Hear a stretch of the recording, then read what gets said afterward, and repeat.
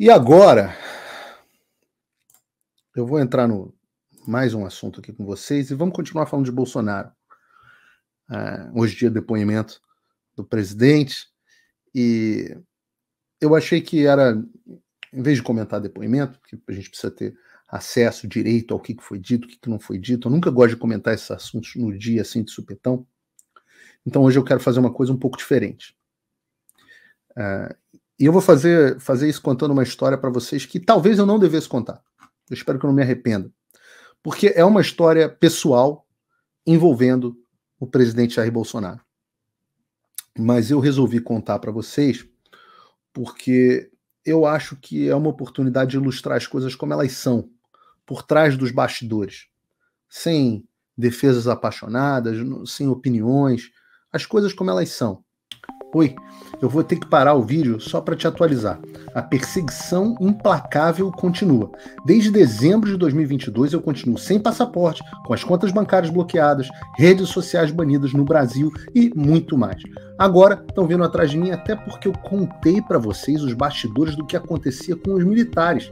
E a novidade é que o Locals, onde muitos me apoiavam, fechou o acesso aos brasileiros por conta do STF.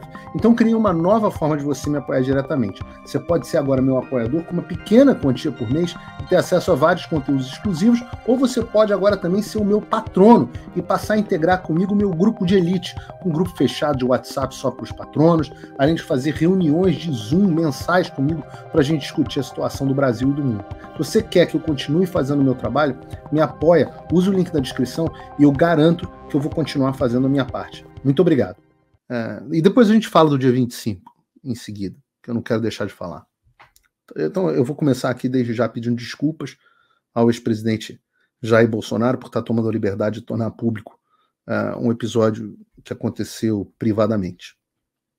Mas é, eu faço com, com boa intenção. Acho que não há nada para se envergonhar aqui, muito pelo contrário. Eu, eu ontem recebi um pedido de um amigo no fim da noite. Ele me mandou uma mensagem que dizia assim: Pessoal, sei que é uma missão impossível, mas o tio de um amigo meu, ou seja, não era nem o tio dele, não era nem ele, nem era, nem, nem era mas o tio de um amigo meu está com câncer no pâncreas e no fígado. Cardiologista da BP e está em fase final. E ele é bolsonarista roxo, e o meu amigo queria muito tentar conseguir um vídeo do Bolsonaro mandando um abraço para ele. Se alguém tiver o caminho, agradeço muito sem compromisso. E eu recebi essa mensagem de um amigo, fiquei muito chocado, uh, mas eu, no primeiro momento, eu fiquei pensando porque eu não tinha certeza se eu podia fazer. Olha que loucura o mundo que a gente vive, né? Eu não sabia se eu podia fazer contato com o Jair Bolsonaro, porque até hoje eu não recebi a decisão contra mim do negócio do tal do inquérito do golpe, então não sei o que eu posso ou não fazer aos olhos da justiça. E não é nem tanto por mim, mas eu não queria complicar o próprio Bolsonaro né, que já está tão complicado. E mundo louco né, que a gente vive, eu, eu não sei se eu posso falar com uma pessoa que eu vou chamar aqui de um amigo, uma pessoa que eu considero muito, é, e, e, sou jornalista, né? Devia poder consultar uma pessoa que é objeto de metade das notícias que a gente comenta. É, mas então eu não sei direito ao que eu estou sujeito e ao que eu não estou. Mas eu pensei um pouco e cheguei à conclusão que eu não ia me furtar de tentar trazer alegria a uma pessoa nessa situação. Né? Ficar doente, se confrontar a morte é muito triste e às vezes o que a pessoa está precisando é de um pouquinho de alegria. Todos nós vamos passar por esse confronto com a morte. É, se, o, se, o, ditador quiser me prender porque eu pedi para o Bolsonaro um vídeo para um doente terminal de câncer, então vá para o inferno com o ditador, ele que se entenda com Deus e faça o que tiver que fazer, que eu assumo as consequências, eu arco as consequências. Então, eu mandei o pedido para o presidente, só encaminhei o pedido, mas eu nem sabia se ele ia me responder, né, porque ele podia não querer falar comigo por causa da maluquice lá, desse inquérito do golpe, mas ele me respondeu em menos de cinco minutos. Não com palavras, não com ah, Paulo, tudo bem, não teve nada disso. Ele simplesmente me respondeu com um vídeo que eu vou cometer a inconfidência de passar aqui para vocês.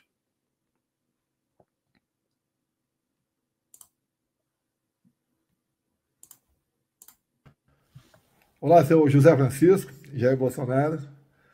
Recebi um contato agora de um amigo em comum, né?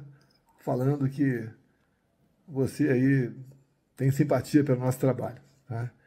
Logicamente que eu fico feliz. Não é fácil passar pelo que eu passei, tá? Mas eu entendo que isso é uma, é uma missão de Deus. E quanto a, a você, José, sei que o senhor está passando por um momento difícil também, mas com ele tudo é possível. É, o, é realmente aquele que vai nos salvar, né? E tendo fé, crença, a possibilidade existe sim. E nós estamos torcendo aqui, desejando um pronto restabelecimento. Então, te mandar um abraço, felicidades. E dizer, José, quem sabe um dia né, a gente possa nos encontrar e bater um papo, tá ok? Valeu, José. Tamo junto, hein? Eu não tive autorização nenhuma para divulgar esse vídeo. Mas eu, eu digo que quem teve contato com o presidente Bolsonaro pessoalmente.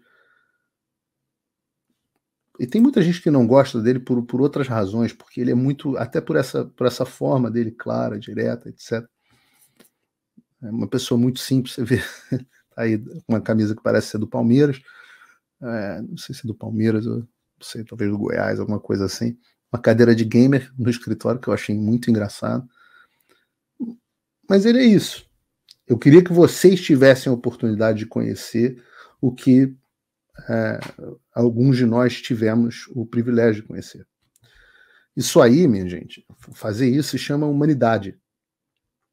Então, quando eu digo para vocês que eu não me considero um bolsonarista, é porque eu tenho as minhas posições e as posições do Bolsonaro não mudam em nada as minhas.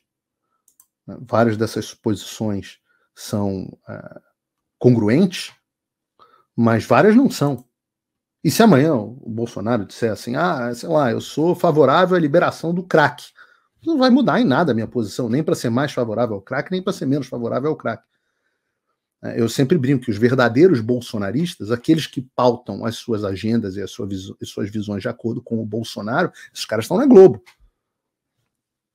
O Bolsonaro toma cloroquina, cloroquina é ruim. Bolsonaro eh, fala mal da vacina, vacina é boa. Então a posição deles urna eletrônico, que teve de gente que antigamente defendia o voto impresso e depois passou a ser contra o voto impresso quando o Bolsonaro passou a ser a favor. É, então, esses é o que eu digo que são os verdadeiros bolsonaristas.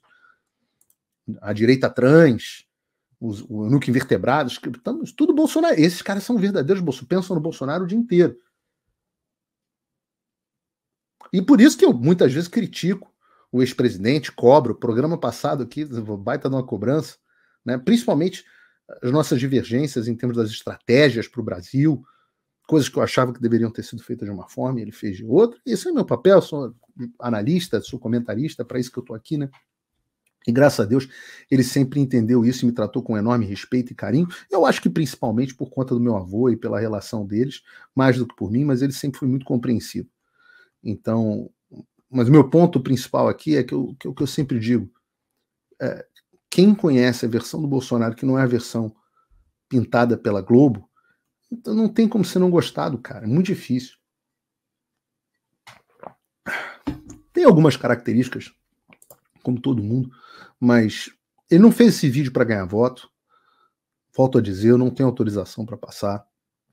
Ele não fez uma produção, não consultou um marqueteiro. Ele simplesmente se comoveu com uma história, foi lá e buscou dar alento a um doente. E eu volto a dizer: o nome disso é humanidade, o nome disso é caridade, o nome disso é ser cristão. Está aí na fala do presidente.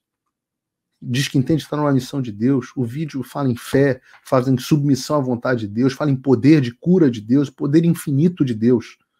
E quem tem essa cosmovisão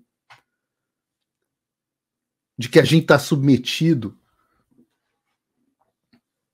a um, a um Criador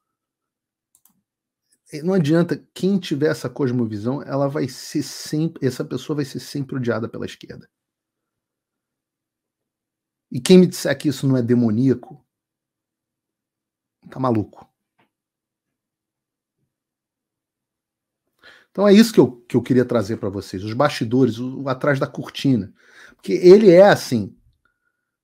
O mesmo cara que você vê nas lives e nas câmeras. Uma vez o Rica Perrone falou isso, né? Falou assim, pô, entrevistei o Bolsonaro, cara, e ele é o mesmo cara. Eu tô acostumado a entrevistar as pessoas. Porra, entrevista o cara, o cara é um, desliga a câmera é outro. É o Lula. Quanto, quanto, nos vídeos que pegam do Lula, quem é? O Lula é o mesmo Lula que aparece para você? Ou é o Lula destratando o cara?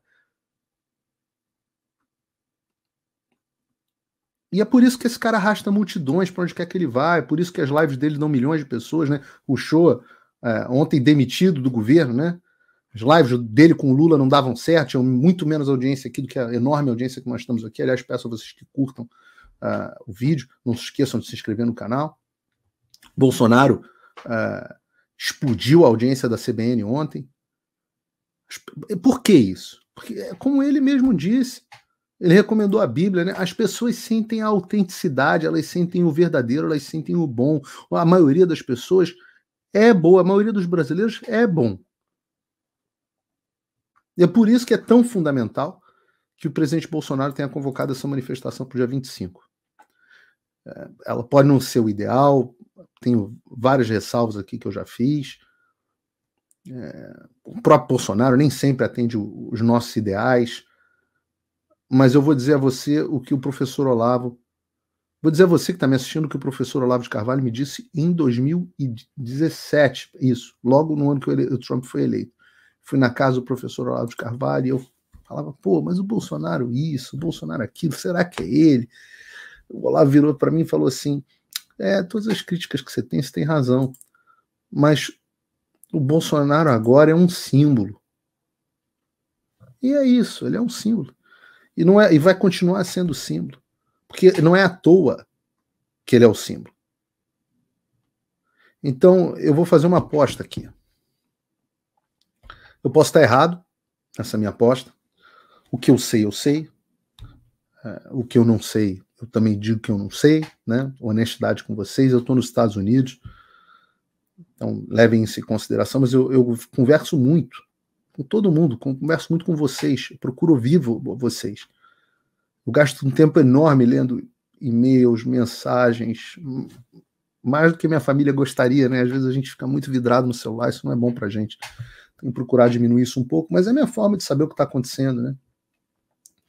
Eu gosto de conversar com as pessoas simples, você que estão no chat, eu gosto quando vocês dizem no chat aí de onde, onde vocês estão.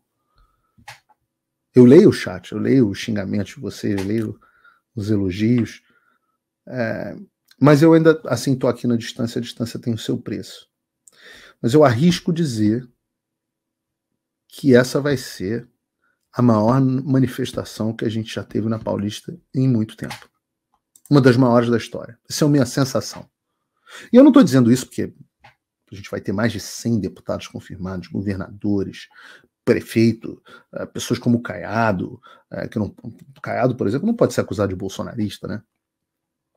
Então tem até algo positivo nesse negócio, Bolsonaro ter colocado isso como um evento suprapartidário, sem ser contra ninguém. Tem o lado ruim também que eu falei na, na semana passada, uh, mas tem o lado bom também. E, e eu estou ouvindo muita gente que estava meio, desculpe o termo, o termo é até do Bolsonaro, né? gente que estava meio broxa eu estou vendo essas pessoas voltando a ter energia. Esperança e energia. A gente tem visto, visto isso também com aumento da audiência dos programas de direita. A gente tem visto isso com aumento do interesse público. E é, 2023 foi um ano estranho para a gente, pessoal. Uh, eu acho que muita gente passou 2023 com a cabeça enfiada no, no, no buraco. Muita gente. Ah, vou cuidar da minha vida. E agora essas pessoas, muitas despertaram, estou vendo um interesse renovado. E eu posso estar enganado, tá? Mas o meu sentimento é um sentimento nessa direção. Aliás, melhor do que tudo, vocês podem escrever aqui no chat. Escrevam aqui quem vai no dia 25. Ou, ou quem iria se tivesse em São Paulo. Ou, e quem não iria e quem não vai. Escrevam aqui no chat, eu quero ouvir vocês. A imensa maioria manifestando a ida. Né? É... Bom, no, no, na semana que vem a gente vai estar junto na, na terça-feira, depois da manifestação. A gente volta a falar sobre isso. Eu vou ver se eu estava certo ou se eu estava errado. Se eu vou me decepcionar ou não vou me decepcionar. Vamos ver. Eu, sou, eu tenho essa característica de ser meio otimista.